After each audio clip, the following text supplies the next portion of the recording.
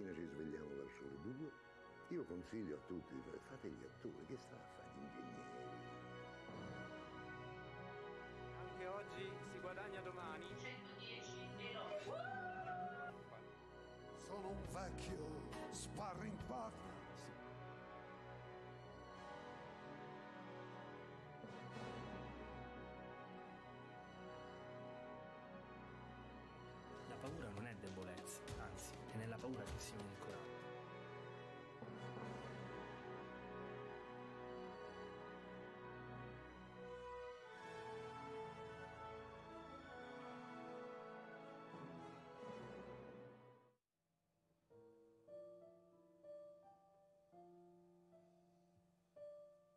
Quando mi dipartì da Circe che sottrasse me più di un anno là presso Gaeta, prima che sì Enea la nominasse, né dolcezza di figli, né la pietà del vecchio padre, né il debito amore lo qual dovea Penelope far lieta, vincer potero dentro a me l'ardore ch'io ebbi a divenir del mondo esperto e dei vizi umani e del valore.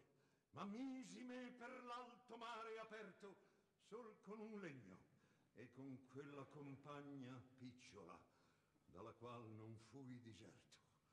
L'un lito e l'altro vidi infin la Spagna, fin nel Marocco e l'isola dei Sardi e l'altre che quel mare intorno bagna. Io e i compagni eravam vecchi e tardi, quando giungemmo a quella foce stretta, Overcole posò i suoi riguardi, a ciò che l'uom più oltre non si metta. Dalla man destra mi lasciai Sibilia, dall'altra già m'avea lasciato Setta.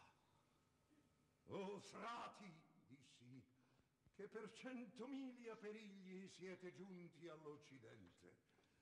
A questa tanto picciola vigilia dei vostri sensi, che è del rimanente, non vogliate negar l'esperienza di retro al sol del mondo senza gente. Considerate la vostra semenza. Fatti non foste a viver come bruti, ma per seguir virtute e conoscenza. I miei compagni feci io sì acuti con questa orazione picciola al cammino che appena poscia li avrei ritenuti.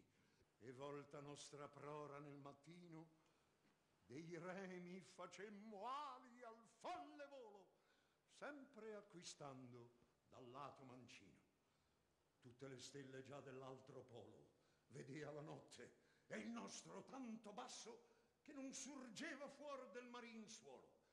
Cinque volte era acceso e tante casso lo lume era di sotto della luna, da che entrati eravam nell'alto passo, quando ne apparve una montagna bruna per la distanza e parveni alta tanto quanto vedute non ne aveamo alcuna. Noi ci allegrammo e tosto tornò in pianto che della nuova terra un turbo nacque e percosse del legno il primo canto. Tre volte il fe girar con tutte l'acque, alla quarta levar la poppa in suso e la prora ire in giù, come altrui piacque, infin che il mar fu sopra noi richiuso.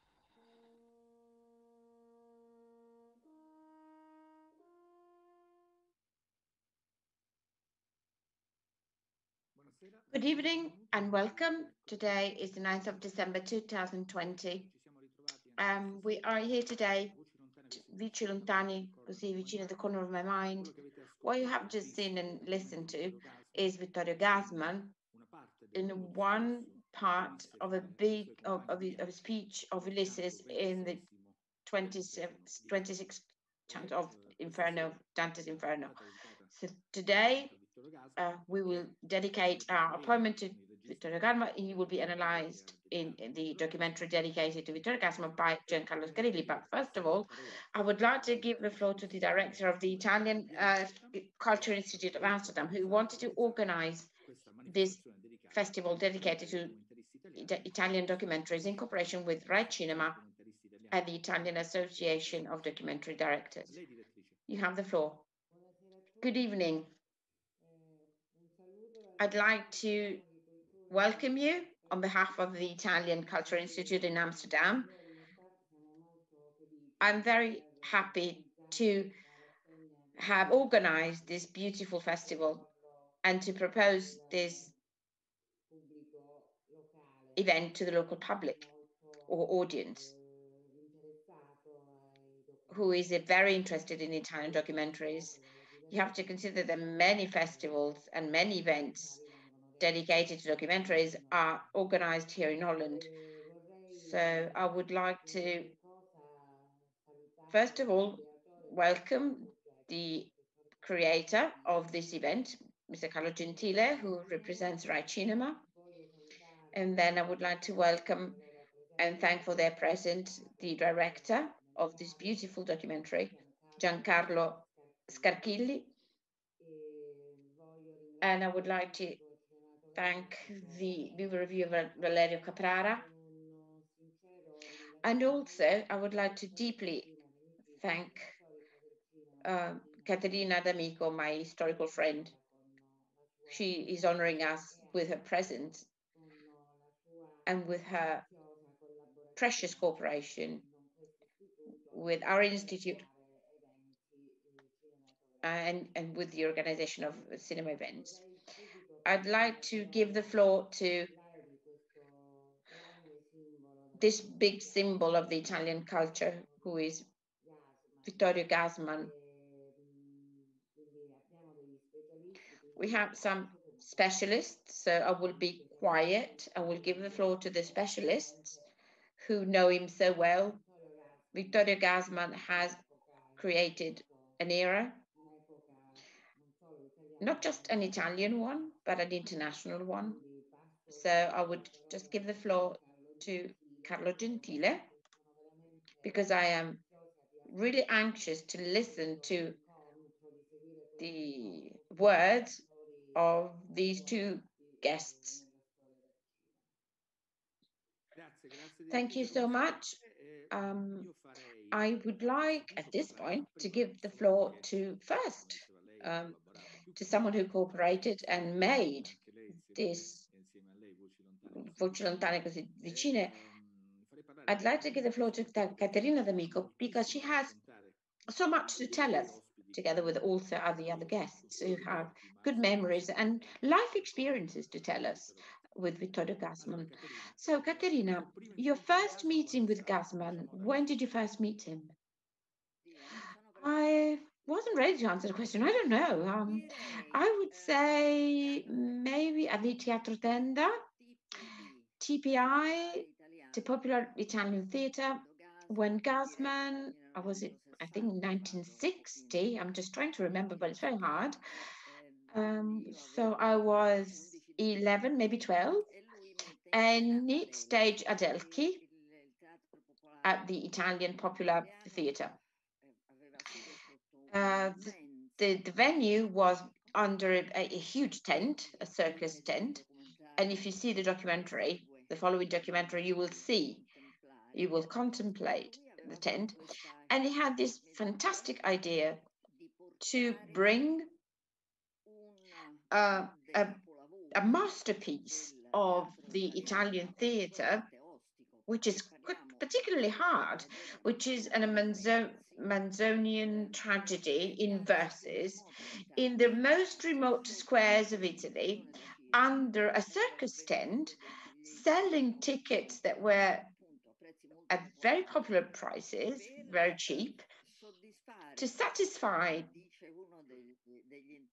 as one of the protagonists of the documentary said, to satisfy his ego, his desire to be a, fi- a, a real theatre actor, but and also to conjugate, to combine the two souls he had, the two souls he had, that made him just a unique character in the non solo di quelli del nostro paese. Scenario of actors both nationally and internationally. I think that Vittorio was was the last Ita- uh, big actors of the past and the first of the Italian of the first modern actors. He had embraced the whole tradition that he loved and he worshipped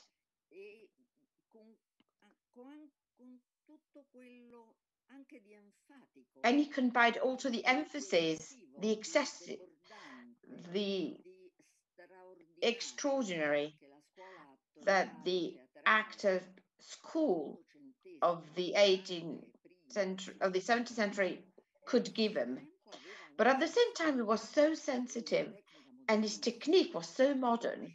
So he could combine these two elements so well. riusciva a coniare a un He wanted to create a theatre that was authentically popular and could speak to the masses. And this was a deeply modern, I think, trait that he had. But the idea of, you know, staging Adelchi and Manzoni shows how strong his love for theatre was, for the classical theatre. My first memory of Gassman is when I was a child, my dad brought me there to say hello, to greet Gassman during the first and the second half. And I looked at him, he was so tall and wonderful. And what I noticed was the drops of sweat that on his cheeks. And he, this made us understand how tiring the job was. And it was not a piece of cake. Yes, you're right, because Google Google says, I'm not rem- it was 1960 when Adelchi was staged uh, on this big tent uh, and it was presented to the general public of, of many Italian cities. Yes, I yes, I was in Parco dei Daini in Villa Borghese, but he toured Italy and he had a fantastic success. Really, it was really successful. Giancarlo, when did you meet Gassman? You started your cooperation with him in the 70s, right?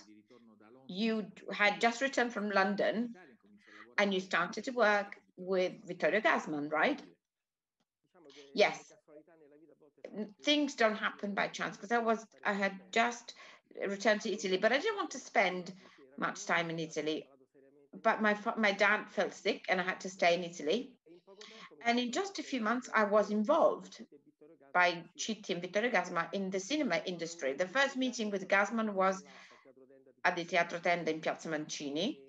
And I remember that I was completely, you know, fascinated by this man that spent seven nights in this theater and he vomited in a good way what he knew about his um, theatrical archives. And I wrote an article on this and he re- read it and he called me because I try to liberate, like I, like a sponge that tries to give off everything that he has absorbed and is open to new experiences.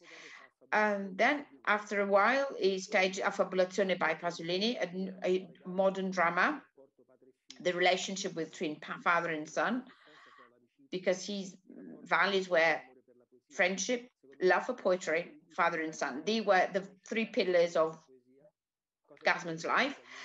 Um, so I used to read his poems and, and he read mine. So there was an exchange about poetry. And then um, after this meeting, uh, we met again in, on a convention on Pasolini at the Teatro Tenda. It was a great event um, together with a fabulation, Affabulazione. So this meeting was presented by Vittorio Gassman and Ettore Scola. It was all the Moravia, Bertolucci, uh, Francesco Rosi, everyone was there. And on the second day, I spoke. Uh, after this, my speech, Vittorio and Ettore came to me and they said, So there was a, a big contact, a big friendship. I was curious, you know. And then after a while, Sergio Citti involved me in the first movie. I was the assistant director. Proietti Gassman. Vittorio was there and he saw me work. After three weeks, he said, Look, I'd like to invite you to a weekend in Velletri in my country house because I need to talk to you. And he proposed me the Padre in Figlio, the screenplay. And over the years, uh, we have shot maybe the story, Alessandro, that becomes a young man, and Vittorio becomes an old man. We presented it at Venezia, the Venezia Festival. And Gassman was celebrating his 60th birthday. But the relationship of friendship that really related me to Gassman and Sergio Citti, and for a young people, person like me, to have gratified and honored with his friendship was is there's no a big, bigger gift than this. In fact, when we did Minestrone or Sogni Bisogni, you know, um, I, I, when we did Gas, with Gassman, Di Padre in Figlio, or other things written for the theatre, it was so beautiful to have contact with Vittorio Gassman, with Sergio Citti. I felt really fulfilled and I could not want anything more than. So it was really a beautiful meeting and I was so happy to go to his house because I could see Alessandro and Vittorio. So I spent some time in, in Velletri, in his country house. We went to Cuba uh, with Garcia Marquez and Fidel Castro. So it was a member of my family in a way. And I was very surprised when after two years, Vittorio wrote his autobiography and spoke about his important people in his life, children, wives, Scola Dino Risi, Monicelli, and mentioned me as well. He talked to me, he said I was a good poet and a director. You know, you can imagine what it meant to me. And I wasn't part of that industry because I did completely different things. And then I went to Domenica In because Adolfo Celi wanted me to present his book. So for me was a gift, the friendship with Gassman and this what really encouraged me to shoot this movie about Vittorio. The first of the first of May of 2009, I woke up and I said, "Look, next year it will be two, 10 years since he passed away. So I'm going to tell you an extraordinary story uh, as a man, as a friend. He was so generous from a human point of view, but also from a practical point of view. And he was so fresh. I remember when he worked in Florence when I and I followed him when during the auditions with Ettore Scola, and he had the cult, you know the culture of friendship. He came back from the movie that he shot with Altman in Canada, and he said, "Look, let's have lunch. I need to talk to you." That was in, in the 1979, maybe 1980. So we were eating, and then he said, "Look, this is a very dangerous period of time in Italy. I was thinking, maybe, what do you think about going to Canada? Why don't you come with me and we can continue? We, yeah, he had this big taste of involving his friends in every project. And that's why I saw something that really left me embarrassed. A sort of program on Vittorio made by the Italian television about the repression, and as if Gassman had always been depressed and had a dark side. And I said, no, that's not Vittorio. Vittorio is something else. Paolo Villaggio said, in fact, Vittorio Gassman is a completely different thing. If you really know Vittorio, you know how funny he is. So to be to treat Gassman like an old depressed man, it's unfair. And I really was really shocked and so after a couple of months, I decided to make my own movie. Alessandro called me, Alessandro Gassman, and he said, Janky, I'm going to come with Sabrina and Leo to lunch. Okay, let's have lunch. While we were eating, I said, Look, this morning, Alessandro, I was thinking about shooting a movie about daddy. Well, I would like to participate, he said. And that, so that's why, how we had the idea. Maurizio Carrano uh, believed in the project so we started everything. And initially, it just had to be a chat between two friends because he was really a friend to me Gigi Proietti, with Villaggio. Um, he really assembled friends together. You know, we called he called me to Velletri many times. So, and I said, what about us friends tell the story of Vittorio? And uh, yeah, we shot that, and it was Viva Vittorio. That was the title. It was conversations with Vittorio. So, but then when I started to shoot and work on the repertoire and look for things, I realized how beautiful it was to listen to Vittorio speaking. And then I had already gathered 40, I think, pieces about Los Angeles or Paris uh, with Claudia Cardinale. So I went abroad to gather some more material and I made a completely different choice. Alessandro said he wanted to speak about the career, but I didn't. And he didn't want to put the, the children, the family. Instead, I wanted to do something different. I wanted to make people understand how great this man was, under every respect. So I changed my route completely. I wrote Gassman's story. I did together with him Di Padre in Figlio, and I spent many months with him. I had a very deep relationship, a very deep friendship, a private, you know, thing. And so I knew every single thing about him. And I knew some aspects of Vittorio that was from a privileged point of view. And what really struck me when I knew him the first time is that he was so shy. Nobody would never think that he was shy. And I found out that he was shy. And it was so nice to see how shy he was. And I said, I changed. And the movie is entitled Vittorio Tells Racconta Gassman because he tells his story directly. In fact, I presented it and it was presented, I think, on the day of the Venice Festival. Uh, he received a, a silver uh, Nastro d'Argento. So I really wanted to remember a big friend of mine. And there was a time um, watching all this uh, material that I had gathered that I said, okay, it doesn't matter if I I had a very deep sense of gratitude. So I didn't want to do anything wrong for you. And when it was presented in Paris, there was Costa-Gavras, Claudia Cardinale, and many other actors of the French culture. And Costa-Gavras speaks Italian, and he said, How you made him so alive, even if he died 10 years ago, he, you made him seem so alive. Let me ask you a favor. Can you give me a DVD of the movie? And I said, Yes, I don't want to. So, this is my love story and esteem, affection for a person that I think is unique in the Italian cultural scene because Vittorio was not just an actor, he was a great cultural promoter. He loved poetry.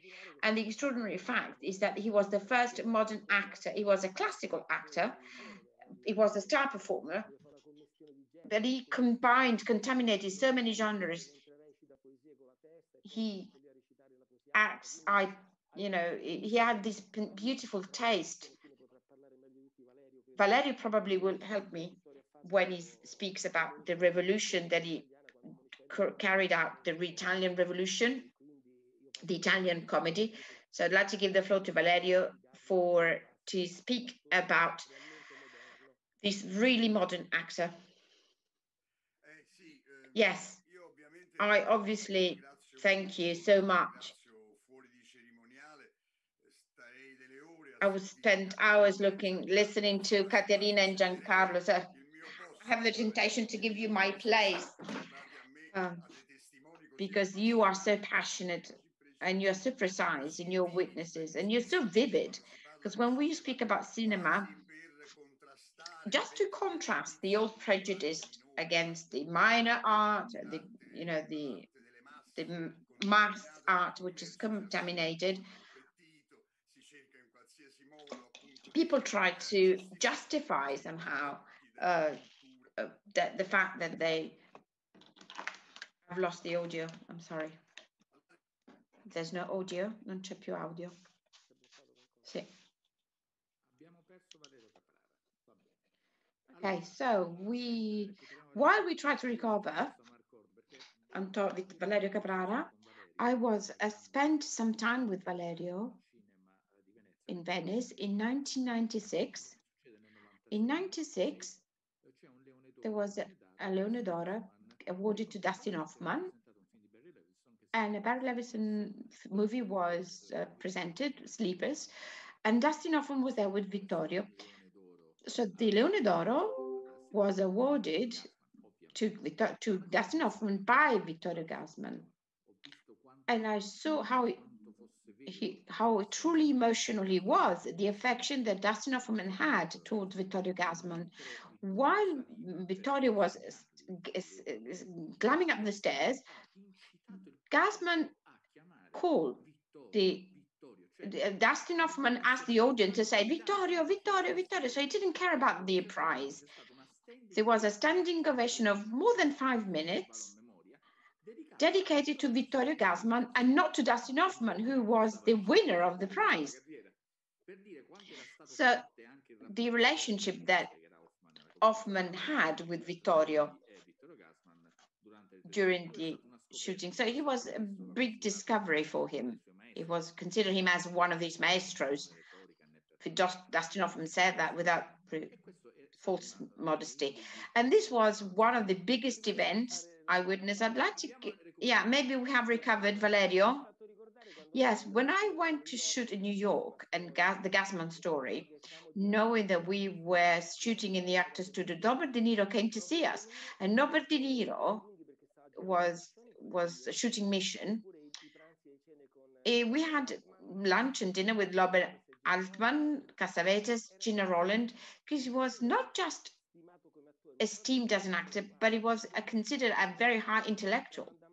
So we went to Cuba to see Fidel Castro and Garcia Marquez being honored to receive the visit of Vittorio. And then I'll give the floor to Valerio, who will tell us more. Jacques Perez said that, knowing that I knew said, I need to ask you a big favor. He's my legend. Can I have dinner with him one night? So just to, you know, make you understand how the international recognition. Yes, yeah, we have a French document that I'm going to show you later. So let's give this the floor to Valerio. Sorry, we can't hear Valerio Caprara. There's no audio.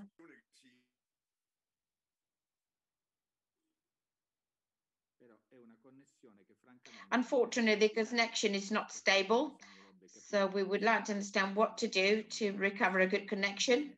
Right, so I, at this point, I will call the contribution for the contribution Molière Prize, which was awarded a few years ago to Vittorio Gassman. Alessandro was there, his son, and the guest, the host?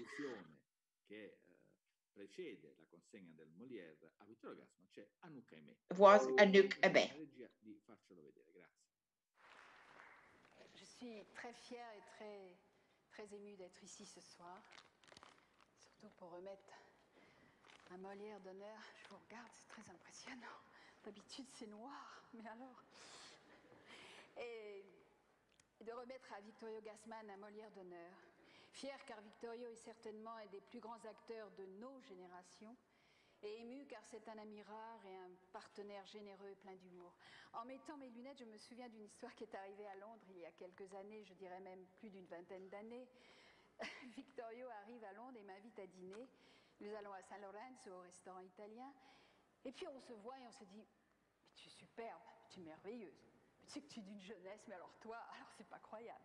Tu sais que tu, es plus belle qu'avant. Oh non, toi tu es beaucoup mieux qu'avant. Tu sais que je suis grand-mère, c'est pas vrai. Si, bah, tu sais qu'Alexandre, enfin on n'a pas, n'a pas arrêté de se dire qu'on était divin, merveilleux et tout ça. Et quand la- l'addition est arrivée, Victorio, comme ça, cherche et me dit écoute, excuse-moi, Eh, che succede? Abbiamo staccato, va bene, non sappiamo perché. Uh, so the, the story, I will continue the story. So at a certain point, he, he got, they got the bill, but they didn't have the wallet. So both didn't have the wallet to pay the bill. And so she says the ending, and then there was this um, c'è questa consegna eh, delivery of the Molière d'honneur. Credo che adesso Uh, so I think we can try to give the floor to Valerio again. Let's try again. I'll try to be brief. I know, I know. I am. I don't have time, so I can see the trees that are bending. All right, so I had many occasions, maybe less occasions than you, to, to be with Tony, who was my idol. And I'm so grateful to to share the affection that we had with, with him. He's well, one of the biggest protagonists. Um,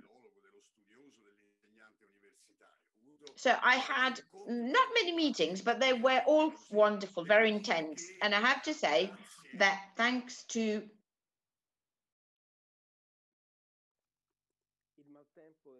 the weather is so bad, probably. Um, so we've lost the connection again.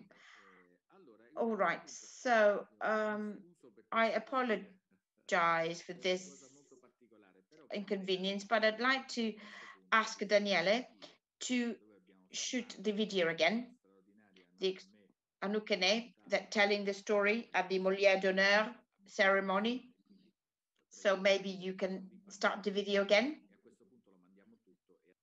And we'll wait for Valerio again to join us.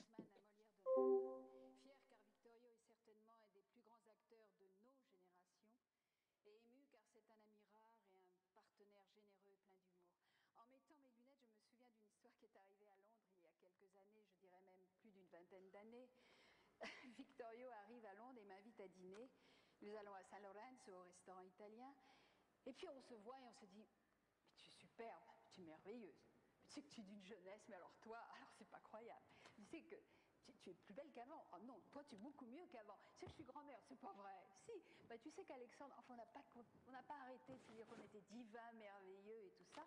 Et quand l'addition est arrivée, Victorio, comme ça, cherche et me dit, écoute, excuse-moi, nous, je suis absolument désolée, mais j'ai oublié mes lunettes. Tu pourrais pas euh, me dire et me lire l'édition Je fais, écoute, je suis désolée, Victorio, mais comme je sais que j'en avais pas besoin, j'ai pas amené les miennes. Et il a, il a demandé au, garçon, excusez-moi, vous pourriez nous dire euh, combien ça fait? Il a fait, pourquoi Vous trouvez que c'est trop cher? Non, mais on a oublié tous les deux nos lunettes.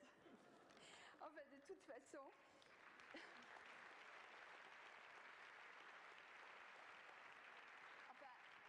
je voulais dire merci à Victorio pour tout.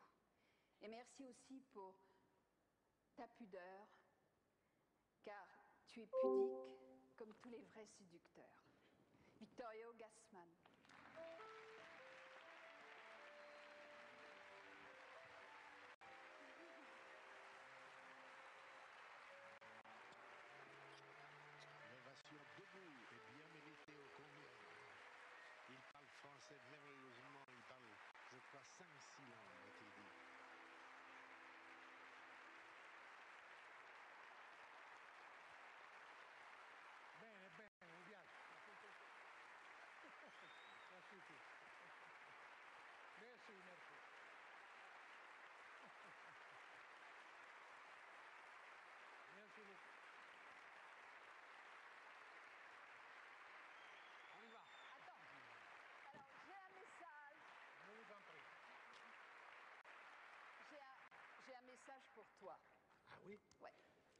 Je vais te lire. Oui. Cher Victorio, c'est quelqu'un qui, qui n'est pas ici là. Bene, bene, queste erano le... Fine. So these were the images. I have to. I, I didn't remember very well. I I watched this movie. Uh, it wasn't the wallet. It was they forgot their glasses, and this reminds me of an of another movie. Anyway, Valerio, please don't Non ti muovi. don't move. It's not my fault, but anyway, I'll be brief. Thank you to Dino. Thank to Dino Risi. I get in contact with Vittorio. I participate in the. At the time, we didn't have mobile phones. We didn't couldn't. It wasn't easy to get in connection. So I participated in some fantastic evenings. Um, that I can only remember because we were sitting in the hotel in Pesaro, in a Pesaro hotel, speaking, chatting, you know, um, we mix this will to know, to ask each other, because as I said, he was my idol. And I was so surprised that I could be close to him. And the greatness that Dino Risi could depict, and I've always defended and I fought to defend the resistance uh, of the of the of the critics. There was a difference.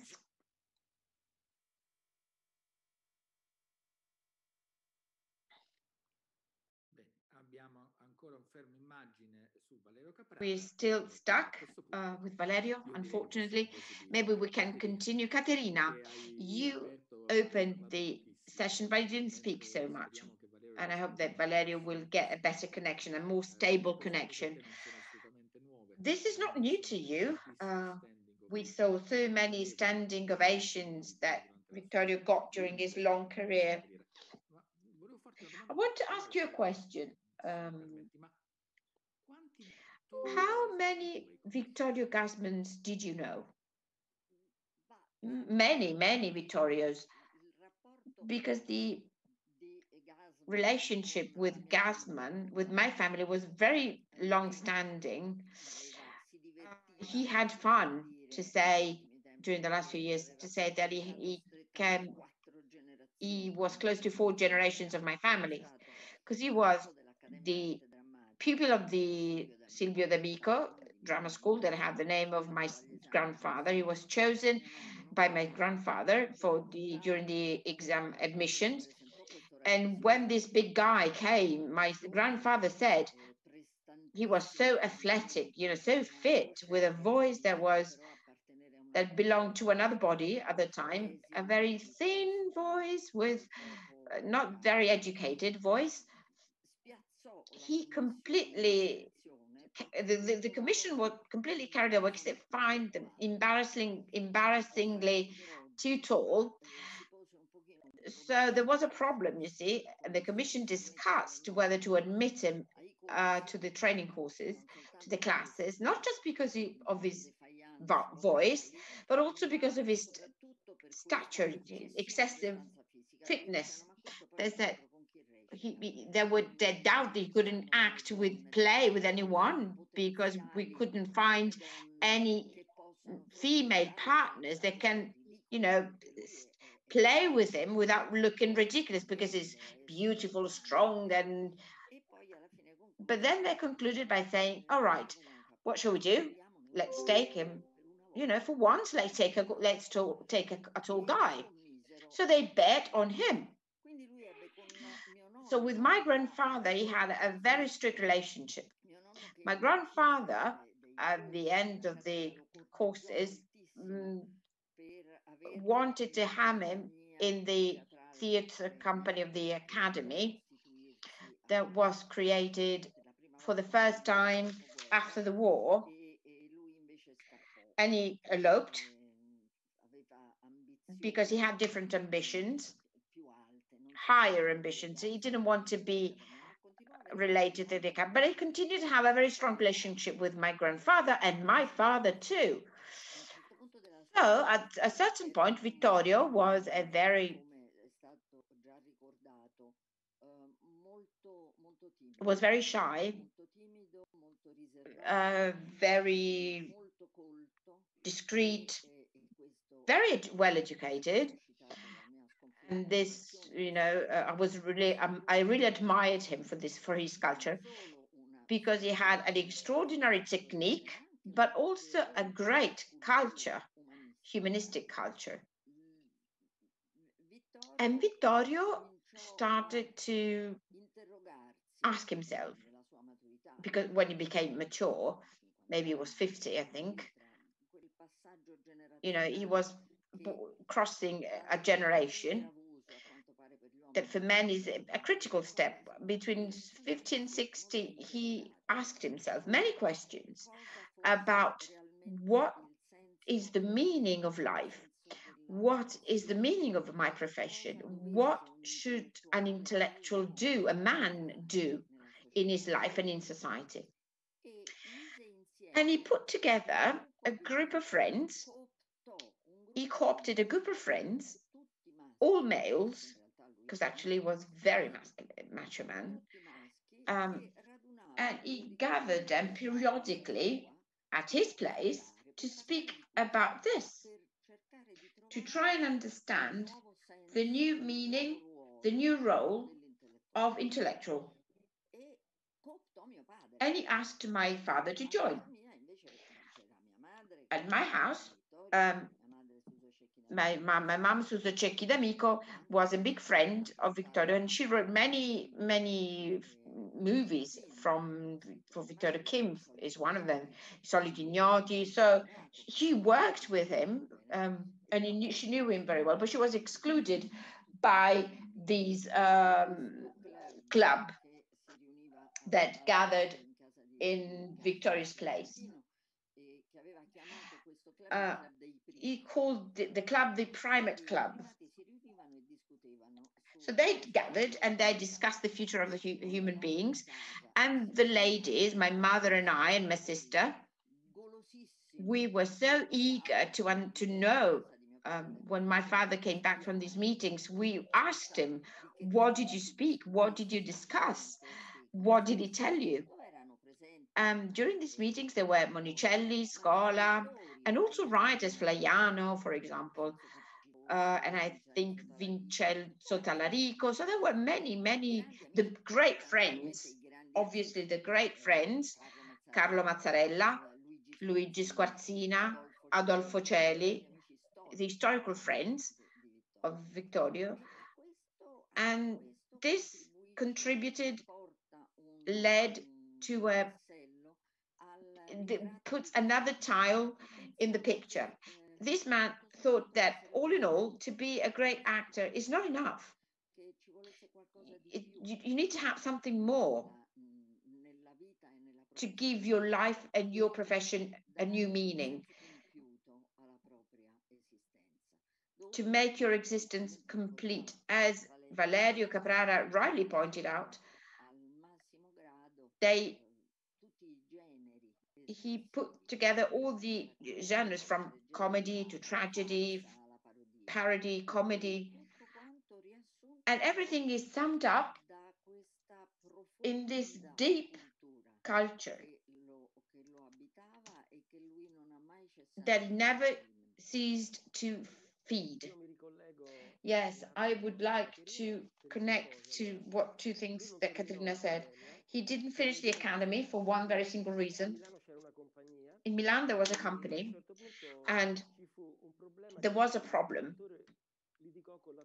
Uh, one actor had a fight and they called the academy and they asked for the actor that had the best memory.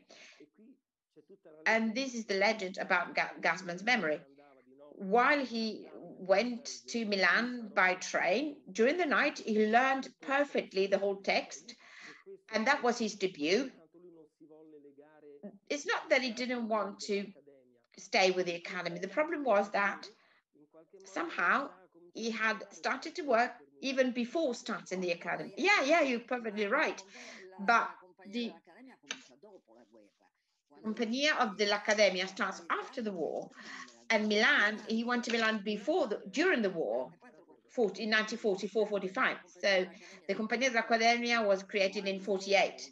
So he was what he said uh, when he was at the academy, he said, his academy mate said that he, the objective was to learn a comedy a day, all the roles, every role, every single script. And he did it to um, train his memory. Yes, I remember what that he he gathered the few friends he had and he read all the roles, all the parts, and it was ma marvelous. You know, it was like a miracle. It was just unique, and it was fantastic to teach to see him teach at the Firenze Bottega di Firenze. There was an episode. Spadoni was the director of the Pergola in Firenze, and he liked more Carmelo Bene than Vittorio. And on that day, he was rehearsing with some friends, with some uh, students, and I was sitting there with Valerio Spadoni, the director of the Pergola, just the two of us. So he climbed, he went on stage to correct a few mistakes, and he did something marvelous on stage. He became she, he became he. And Valerio Spadoni, he was not a fan and of Vittorio and said, he said he was the most beautiful thing I've ever seen in theatre. And there's just to, you and I to witness this. It's wonderful. It was really amazing.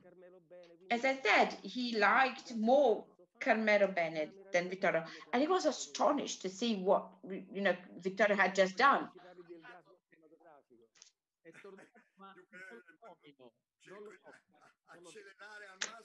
We need, I want to accelerate because I really want to speak, but the connection is not helping me.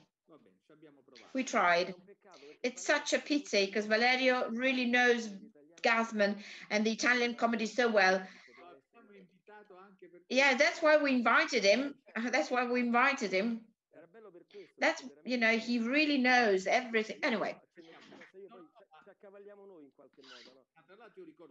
I remember that you mentioned Carmelo Bene. I remember a mythic, a duel at the Sapienza in Rome at the university, Vittorio and Carmelo Bene, and they were both called to speak about their relationship with the theater, with the press, with acting, etc. And it was really extraordinary. It lasted hours and hours. You know what the beautiful thing is?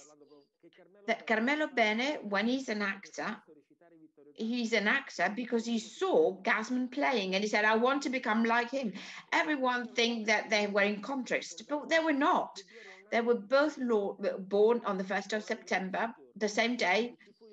And I remember when I looked for materials for my documentary, I found an interview of Carmelo Bene in black and white that speaks with Carmelo Bene.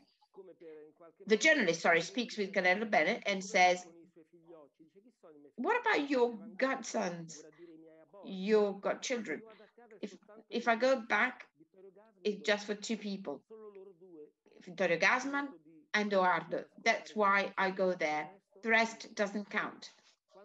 So when they speak about disputes about Gassman and Carmelo Bene, they just don't exist somehow. This is the country of Coppi, Bartali, Mazzola, Rivera. So at that time it was Carmelo Bene and Vittorio Gassman. But this dispute, this rivalry doesn't exist. They really esteemed each other. And Carmelo said, if I'm an actor, is because I saw Vittorio and I want to be just like him, just to show you that there was no big competition. They were both monsters, two geniuses, and they had fun, you know, teasing each other. Yes, we listened at the beginning uh, to Vittorio in the opening video, in the footage, in his role of player, but we saw that, as we know, he was a great star performer. And along his, during his career, at the end of his career, he liked to read, not just Dante or Leopardi. I'd like to show you a very small footage about what he read to Rai Uno a few years ago.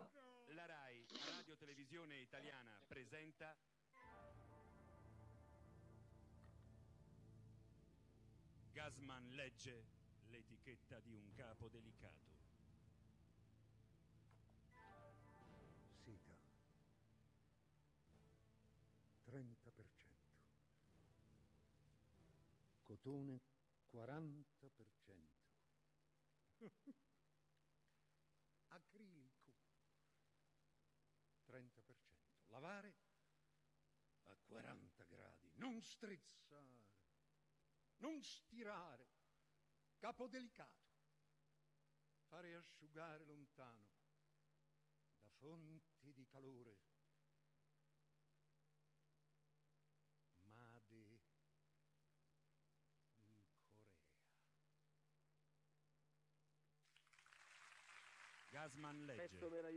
A marvelous piece, really marvelous piece. Um, we re- it was really hard to find this, but you could have 10 appointments to show the long career of Vittorio in small fragments. So you had the cha- the, the luck to you were lucky enough, sorry, to know him. Um, what was at the end of the day when at the end of his career did he choose to show not to show himself to the public? was his choice? Well there are two things we have to say about vittorio. The first thing is when it was offered the movie that you mentioned in america. sleepers yes. He didn't want to go um, we had to convince him that he had to do it because he didn't want to. So it's not because they didn't call him, it's just to understand Vittorio, we need to think about one thing only a man that was loved all around the world, who was rich, famous, that is depressed, means that was something special inside him. If he had been something, someone common, he would have been okay. But Vittorio did not forget anything to himself. If he'd made a mistake, he wanted to pay to, for the mistake. He had a great sense of justice. He had a cult of friendship and love for poetry. And I think that when we speak about Vittorio, the love for poetry, the children, the friendship, they were the pillars of his life. And even women, when he says, when people say that Vittorio was a chauvinist, it was the opposite. When you speak to Vittorio, people said, he said look this country will only be safe if we leave it to the women because men can't do anything and women will save the world. The presence of women is fundamental. So Caterina he wasn't chauvinist. He was he said that Diletta was much more intelligent than him. Yes yes you're right but Diletta he loved Diletta yeah but in reality he didn't have many women friends because he was shy. That's why. Anyway it doesn't matter. He he liked to be with his with men and he liked to hang around with men. Not because he was chauvinist but he, he definitely what you said at a certain point of his life or his career he became depressed. Um, and this depression occupied more life, more a big portion of his life. Sorry, that's a signal of his great intelligence, and the fact that he had some, you know, had many questions, questions that went beyond or issues that went beyond his personal life. And they were related to his sense of responsibility towards his, himself and other people and the relationship with the, the, students. He was a friend for everyone. He was so generous, both on stage but also behind the stage, behind the curtains. He wanted to be with the students, with young people in general. He loved them. He laughed. He smiled. He was he was part of the group. He was not Gassman. He was just someone who liked to mingle with them because he respected other people. He respected everyone. He respected the commitment of other people, the intelligence of other people, and the personality of other people, the professionalism of other people. And I remember that um, when he had a very dark period and he was looking for his own way, that culminates with Gassman all'asta, where he starts to play. But before that, he organized a few nights in Quirino, a few events in Quirino, and he was alone on stage and gave it all. You know, he gave it all. Everything that he knew by heart. He had an incredible repertoire of scenes, monologues, poems, everything. Uh, but he wasn't but he was not good at presenting. He was confused. Um, he was tormented. So these pieces were presented one after another without a fil rouge. The theater was full, and at a certain point, from the uh, from the theatre, someone said, not an offense, but someone probably teased him. I don't remember what he said. He's, they said something a, a little bit of injurious. And people laughed because he was that this thing, the sentence was very funny. People laughed, there was an applause, and Vittorio stopped and said, Who said that? And there was a, a young boy and said, I did. And good, come down, come here on stage. He didn't have, you know, he didn't take offense. So he called him. He arrived. He was a young boy, very, very slim.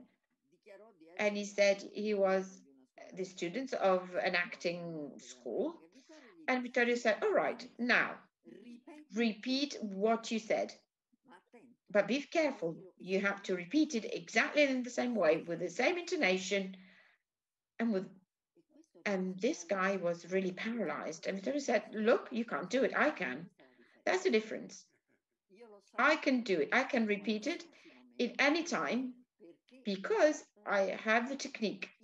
Learn from me, study and learn, and then we can talk about it.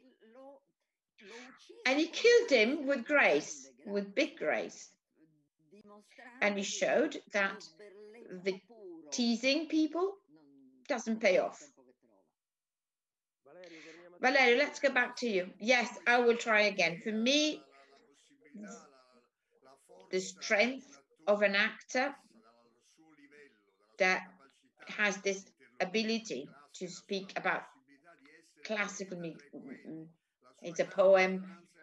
He knows the stage and masters the stage. The incarnation of Brancaleone, someone who can become Brancaleone, you know, goes beyond everything. That's the apex of being an actor. I think about Volonté. He's such a beautiful actor and maybe a bit grumpy. But in movies, in the movies of Sergio Leone, he gives, he creates characters of that kind. That's the grandeur of an actor, not someone who's closed in a kind of bubble or or is labeled as a genius. These are the big Italian strengths, the strength of being an eclectic actor, which is forged on study, technique, deep knowledge, dedication. He, you know, he, bled in battle. And when I say, when I met him and I wrote him a letter and I sent him a book on Carosello Napoletano, and I I criticized one of his struggle that he had with another important director. He sent me a letter and said, and I'm going to read it to you. Dear Valerio, thank you for the beautiful book. I read it with a lot of interest, and thank you for the wishes that what you didn't say that I would like to mutually reciprocate. I hope to see you soon because these judgments are very. I share your views so much. So I, I he had an argument, uh, and I uh, was uh, again was in agreement with him against Mario Martone. So this is my witness, and I am particularly attached to this. I'm very fond of this. Um, I think that Vittorio Gassman has really grasped the essence of our cinema when he, from the from the from after the war, neorealism contaminated by Gassman, and then also the great tradition of the Italian comedy the with the of the 70s when he became a bit mean. I think that was a turning point. The uh, anti-authoritative impulse, the young impulse conquer of the big freedom by the children of bourgeois, which was old and fascist. So there was a new way to interpret reality, to live reality by mimicking the reality. And I think that this turning point that is reflected in the American cinema of the time, you mentioned matrimonio, etc., etc. He tried to attract and uh, interpret um, the moods of the time, like Al Pacino and Profumo di Donna. And they all give us me a great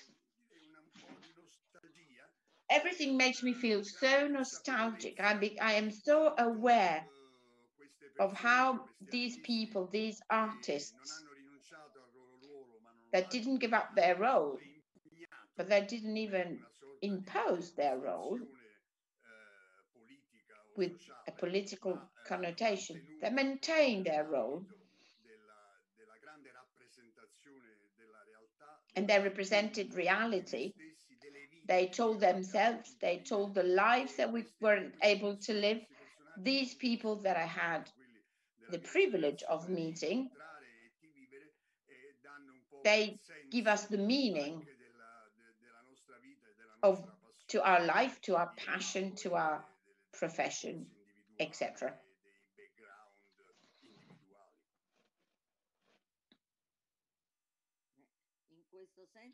I, it's wonderful, the duel between Gassman and Volonté in Brancaleone. It's really symbolic.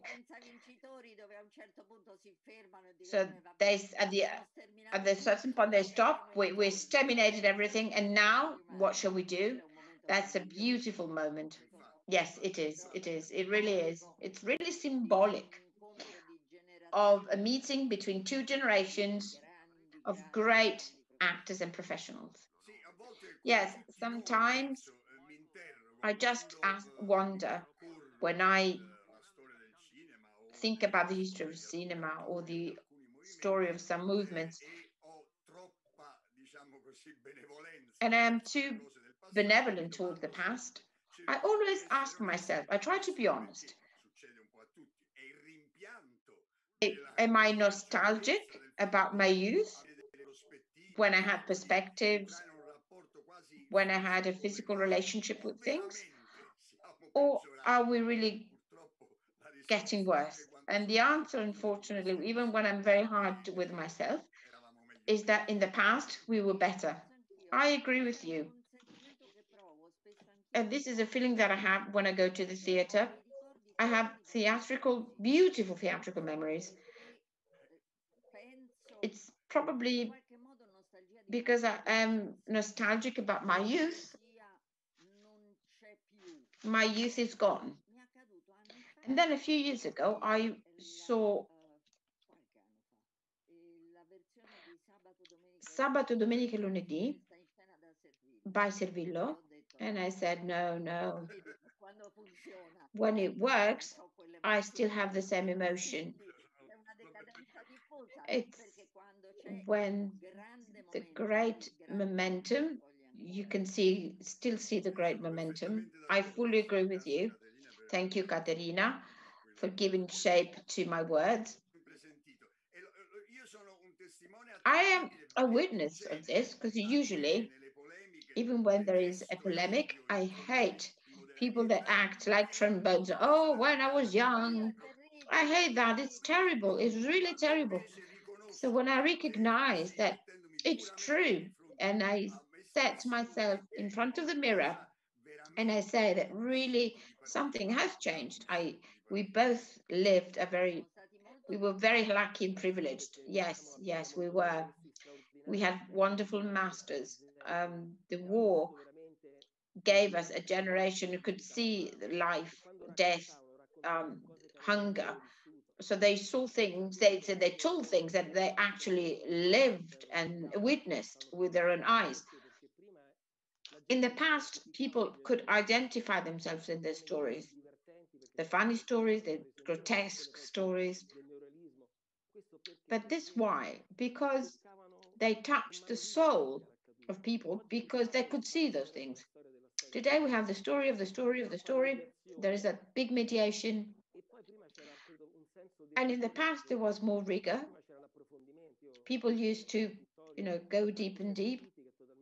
Central City is a different world. It was a particular care towards the details.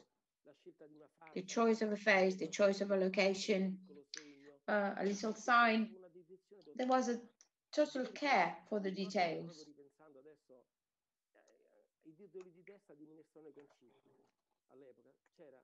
When I worked with Citti, Nicola Piovani for the music, we have Spinotti, the photograph director, Ferretti, the screenplay player, all are Oscar winners because they used to work as craftsmen. Scola was a screenwriter. Um, se permettete parliamo di donne was written by someone else and Vittorio said look why don't we do it? Why don't we stage it? And he says that also in the movie that we made. Vittorio convinced me to become a director. He said something really beautiful. He said we met and we talked about the stories that we wanted to play. And what was really not important was not the signature there was a special taste to share this moment of creativity. And this is the secret of that cinema, the fact that people that were so different had created so many beautiful masterpieces because they just wanted to share. Today, instead, is different. Everything is restricted. In the past, we had Ettore Scola with Maccari, Risi, Mastroianni, Gassman, and everything created um, an exchange that could enrich the movie.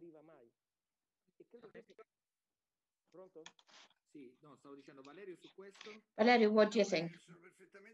Yes, I fully agree. And I'm thinking that maybe because we are living through a very difficult time, a tragic time, as we never happened, it never happened before in our lives, at least in my generation, the baby boomers, etc we hope that in this tragedy, authors and poets can, in the future, use their experience and have new ideas, create new stories, which are suitable for to the tragic moment we're living at now. These disasters, this pain that the youth parents used to tell us created this incredible strength that com- that allowed us to tease ourselves, to be sarcastic and sometimes cynical. So hopefully, even in, in this tragedy, we will find the strength. We feel so. So hopefully, I think I hope that will go beyond the lockdown all'italiana and we will go beyond that. Okay. And there is also a documentary by Salvatore, which will be presented in a few weeks. That was presented in as a premiere at the Festa del Cinema in Rome. And Salvatore shot that uh, documentary and dedicated it to the lockdown.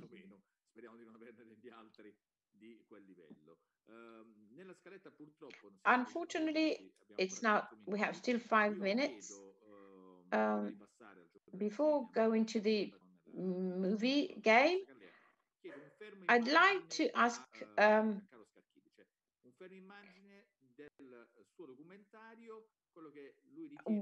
one comment about the clue moment of his documentary.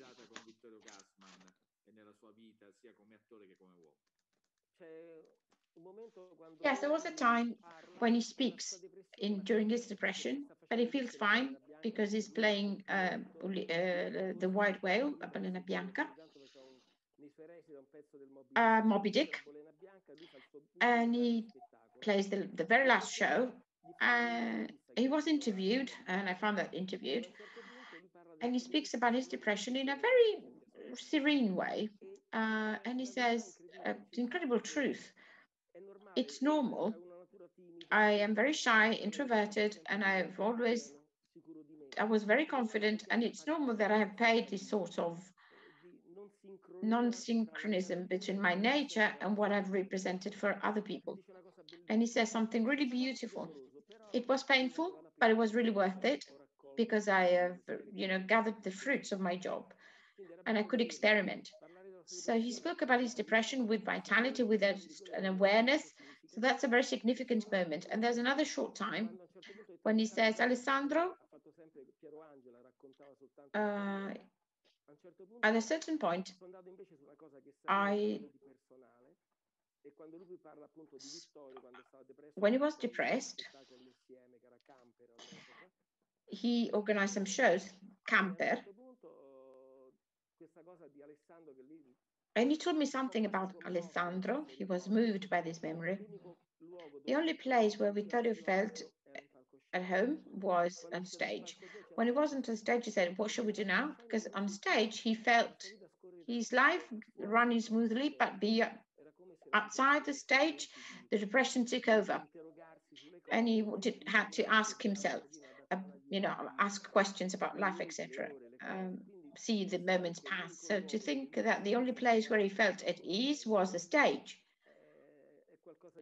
And it's really something significant that makes us understand what actors are in their essence, in their complexity.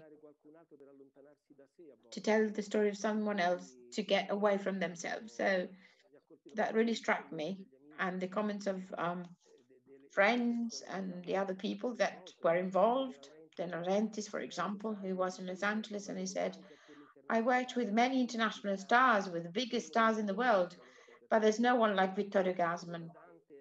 Someone who can do Dante and Brancaleone, Soliti Pasolini. So someone, no one has traveled so far and seen so many facets. It's like Picasso. He, you know, went through every single genre. So that's why he's the biggest modern actor because he brings poetry on TV. He creates. When we did the Teatro Tenda, I think he had 400,000 spectators, you know. Caterina said the, the, the play was very difficult. And people went to watch him. And this is, you know, he was the first one. At the time, the companies only did three or four different um, plays a week, uh, and then they changed the repertoire because otherwise the audience could get tired. His Hamlet was uh, had more than a hundred nights, and that was unthinkable.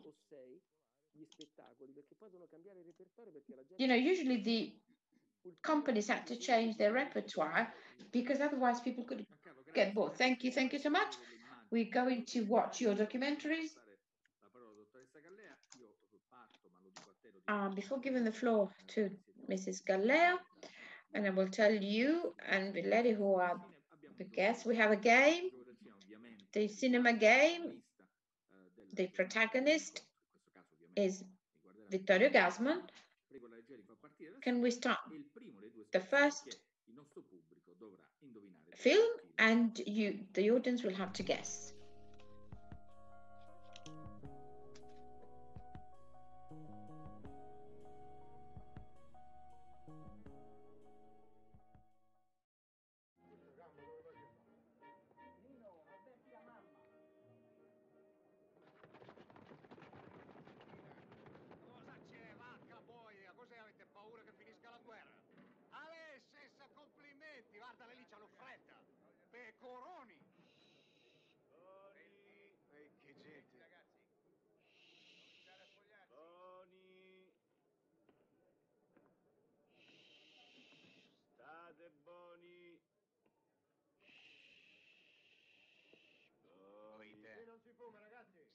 Sei di servizio qui te?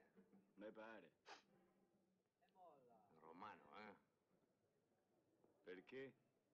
Perché perché. L'italiano in fanteria e il romano in fureria.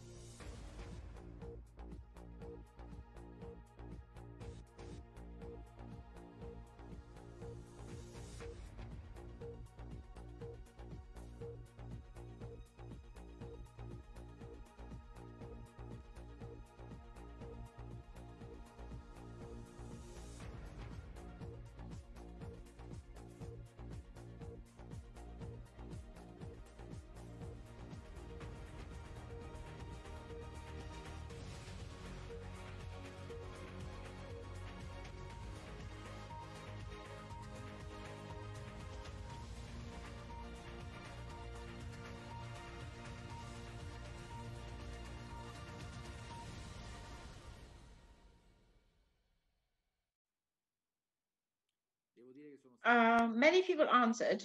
Uh, sulla colonna di destra hanno indovinato. they got it right, the movie. Possiamo comunque dire a Valerio. Valerio, what was the movie?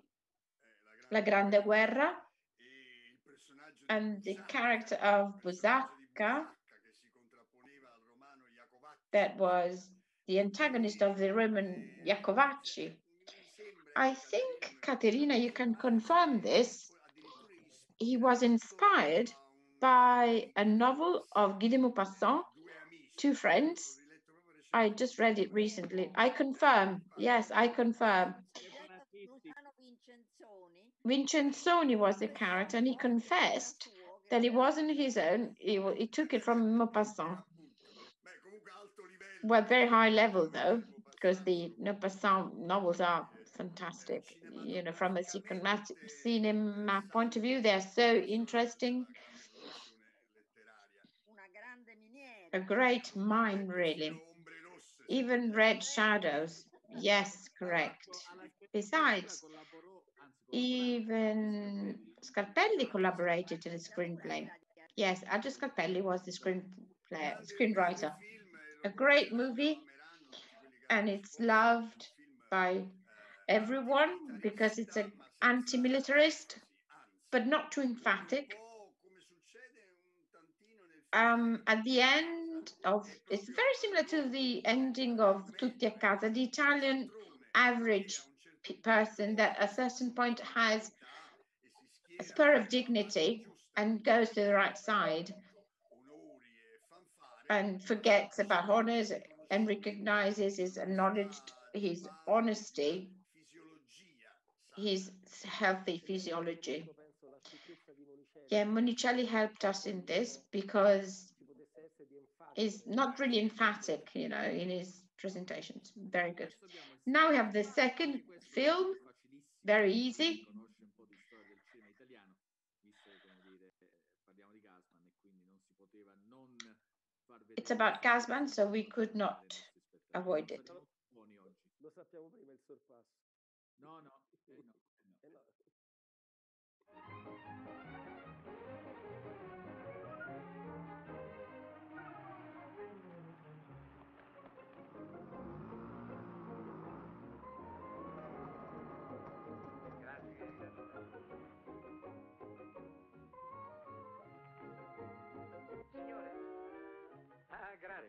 Gentile. Buongiorno, dottor. Buongiorno, ragioniere. Come sta la signora? Grazie, bene. Perché non venite da noi stasera a vedere la televisione? Grazie. Tanto io seguo la signora, eh?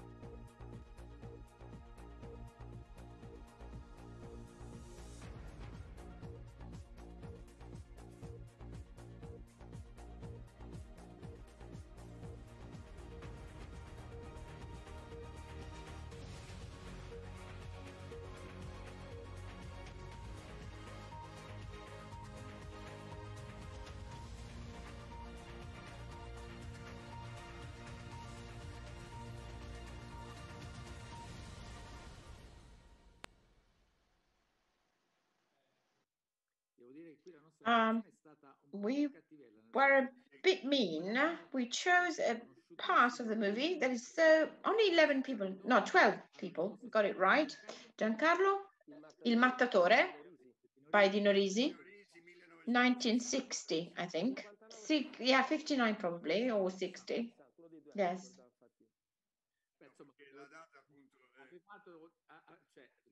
Okay, so you had evoked him as the Mattatore or Sorpasso, you know, it could be one of the two.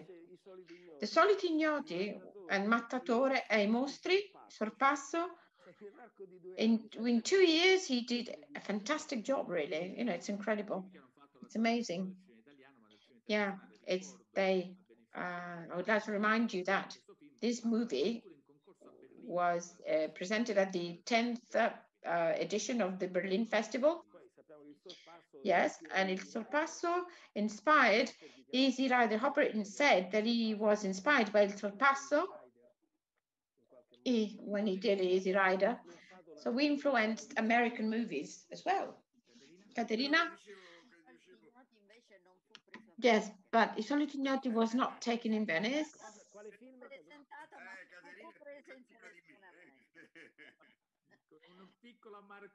Unfortunately, this is my amarcord about the Soliti Ignoti.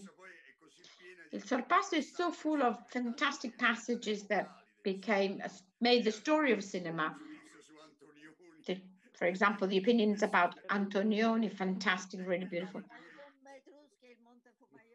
Um, the Etrus Etruscan tom tombs, yeah, and they stay. They become the heritage of the people and of, of like like Fellini, for example. They stay in our memory forever. These characters become adjectives in a way, and so, and there are so many in, in, in Sorpasso.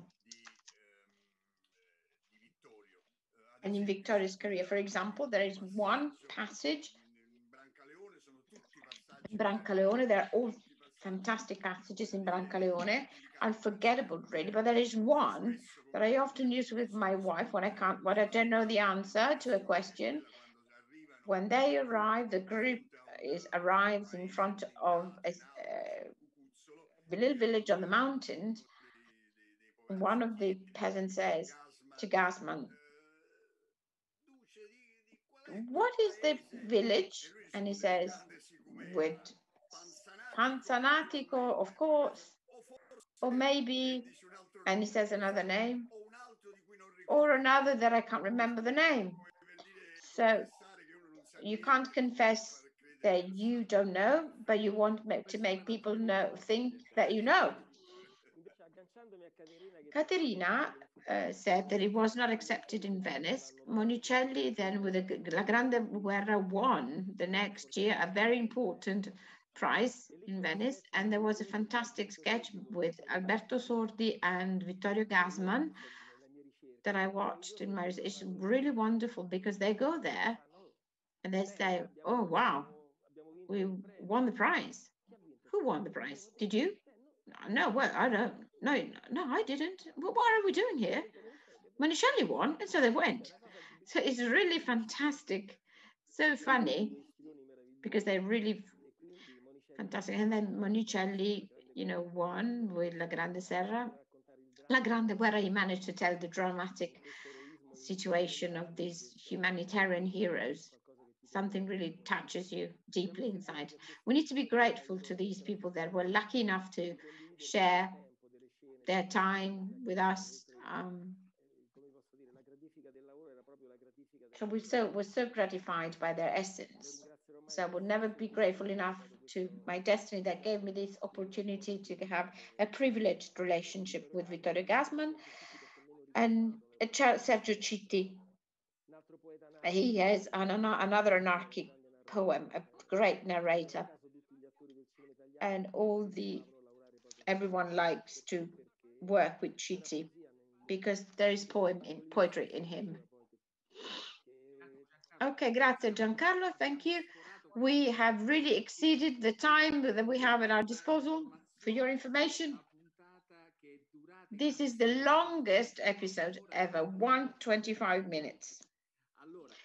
Uh, okay, so I'd like to thank Vittorio, but I would like to thank you, the director of the Italian uh, Culture Center. I'd like to give her the last the floor, and I think that she has something to say.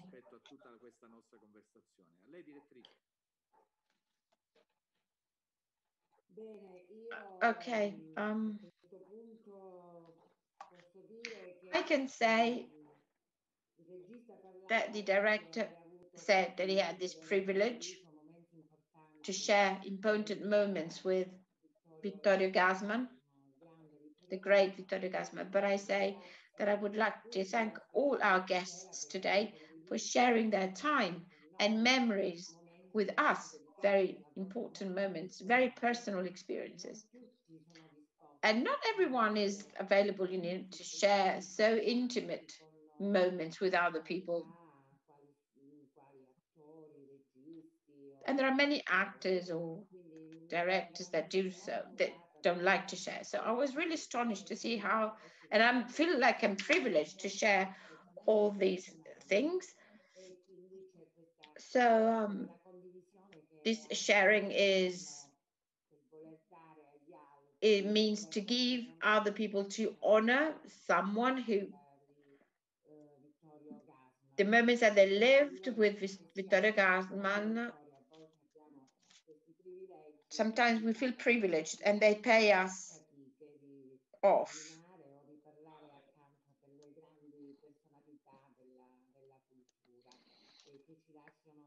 So we have really in, incredible memories. While you were speaking,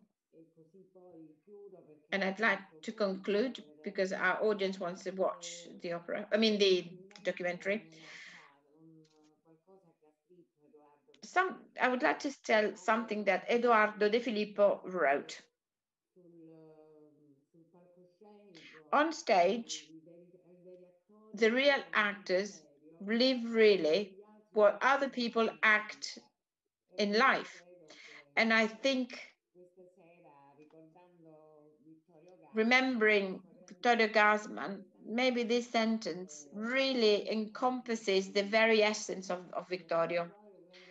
So thank you so much. And I wish you a pleasant vision.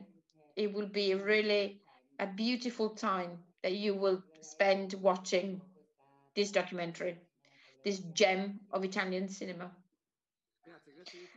Thank you. And my, the next appointment is next Tuesday with Zuppa del Demonio. And I'll see you again at 6 o'clock p.m. to listen to the voice of the protagonist and the director. Thank you. Good night. Thank you so much. Thank you. Good night, Caterina.